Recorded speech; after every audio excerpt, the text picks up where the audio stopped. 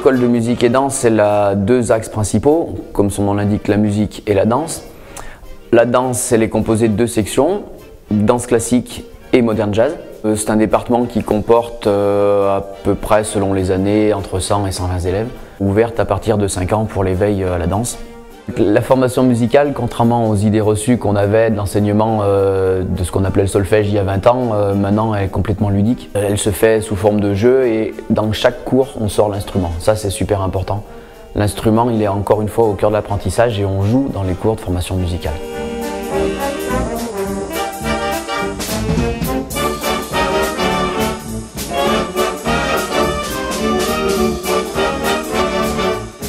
En règle générale, les gens qui viennent savent ce qu'ils veulent faire, sauf qu'ils ne sont pas sûrs que ça va leur plaire. Alors on propose tout le mois de septembre un, parcours découverte. Ça veut dire que les gens, pendant les 3 ou 4 semaines de septembre, pourront essayer leur instrument sans engagement ferme ou définitif.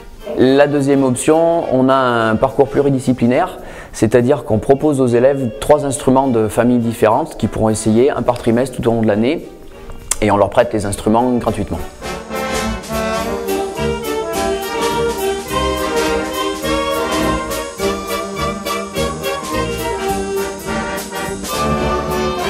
La pratique collective est au cœur de notre apprentissage. Euh, à savoir, les enfants commencent une pratique collective dès la première année d'instrument et euh, sans avoir au préalable forcément fait de formation musicale, c'est-à-dire on attaque tout en même temps.